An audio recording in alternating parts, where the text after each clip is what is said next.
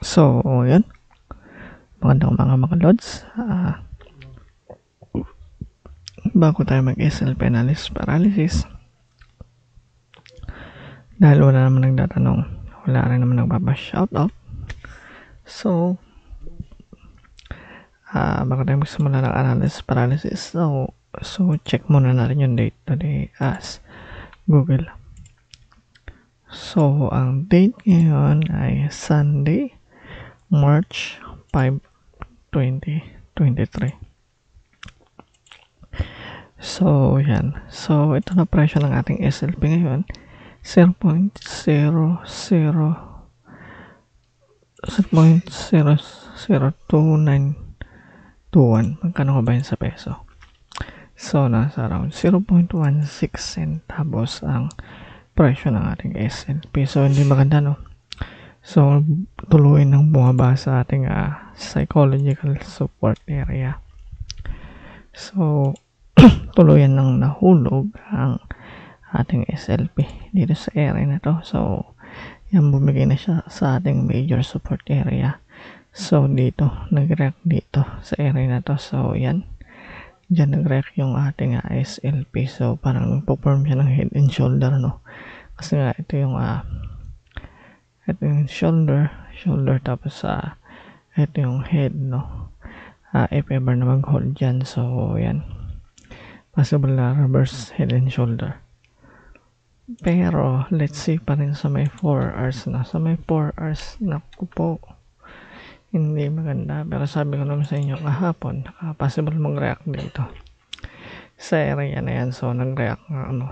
Pero, uh, para masabi natin bullish yan, dapat maritis niya ulit ito, itong psychological na resistance natin. Para masabi natin na possible mag-continuation. Kasi if ever na hindi niya ma-rightize yan guys, so asahan nyo na pag na-break tong area na to, dito ang possible na bagsakan sa ating previous na Darbas box sa 0.002517 ng ating uh, SLP. Pero, dahil may ano sa BTC yan guys, no? may correlation sa BTC. So, let's check natin kung anong nangyari sa BTC. So, sa BTC pa rin is still holding pero wag lang babasagin nga tong area na to. Uh, so, 22 way something yung BTC.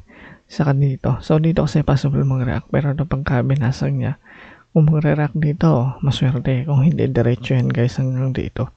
Sa 21k something yung BTC. Kasi ang kailangan natin, uh, tong area to, at least man lang dito maritis tong uh, psychological na resistance. Binawanapit na pwede niyang pag-reactan sa 23k something ang ating BTC.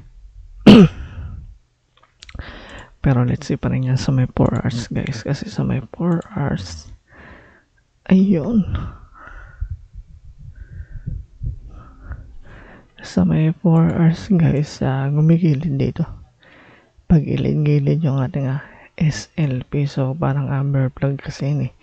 Dire-diretso pero hindi yan magiging bar plug unless na ma-break tong area na to kasi dito kung pansin niyo nag-react lang sa 22k something yung BTC kasi possible ito, if ever naman continuation, dapat at least dito man lang 50% ng previous red candle, no? Kaso nga lang, uh, psychological na resistance, so papansin niyo possible dito mag-react sa 22k something ang ating BTC. So, yun lang. Yun lang ang ating quick update, no? Balik na tayo sa ating SLP.